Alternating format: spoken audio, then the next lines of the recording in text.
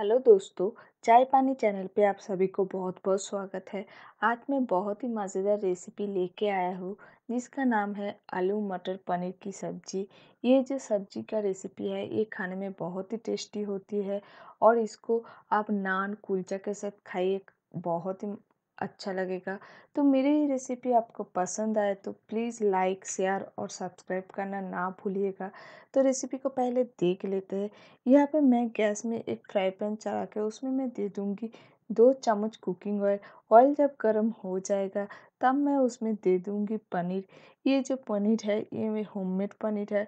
पनीर दे के मैं इसको एक से दो मिनट पनीर को मैं पहले फ्राई कर लूँगी।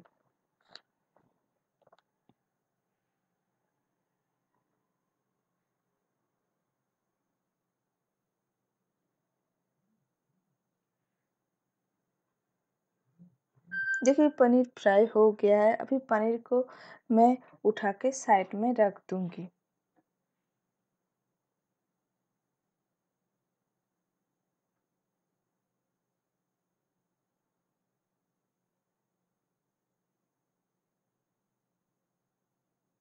अभी मैं उसी फ्राई पैन में दे दूँगी पहले से बॉईल किया हुआ आलू। आलू को, को दे के भी मैं एक से दो मिनट इसको फ्राई कर लूँगी।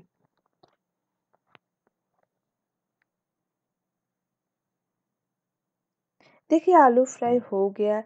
अभी मैं आलू को उठा के साइड में रख दूँगी। अभी मैं उसी फ्राई पैन में दे दूँगी। तीन चम्मच कुकिंग ऑयल। ऑयल जब गर्म हो जाएगा, तब मैं उसमें दे दूँगी हाफ़ चम्मच जीरा और दे दूँगा मैं काटा हुआ प्याज और काटा हुआ टमाटो।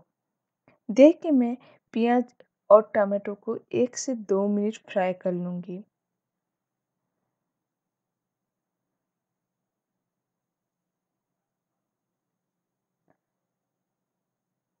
अब देखिए टमाटर मेरा और प्याज फ्राई हो गया है। अभी इसमें मैं दे दूँगी एक चम्मच अदरक चिली का पेस्ट, दो चम्मच प्याज लहसुन का पेस्ट, हाफ़ चम्मच नमक, हाफ़ चम्मच हल्दी पाउडर, हाफ़ चम्मच मैं दे दूँगी जीरा पाउडर, हाफ़ चम्मच दूँगी मैं धनिया पाउडर और मैं दूँगी हाफ़ कप पानी। इससे क्या होगा, मसाला जल नहीं जाएगा। अभी मसाला को मैं अच्छी तरीके से एक से दो मिनट फ्राई कर लूँगी।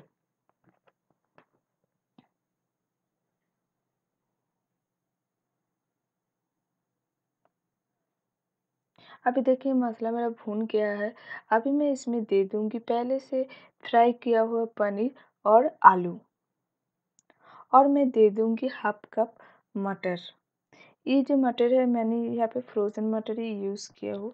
अभी मैं सबको अच्छी तरीके से मिला लूँगी।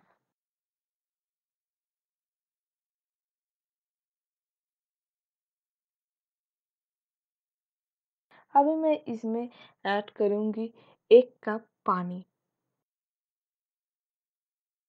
पानी को दे के मैं दो से चार मिनट मीडियम आँच में इसको पका लूँगी।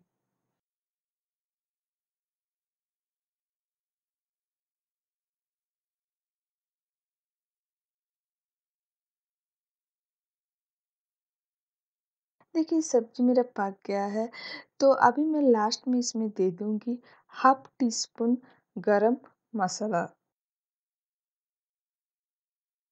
दे के मैं गैस ऑफ़ कर दूँगी।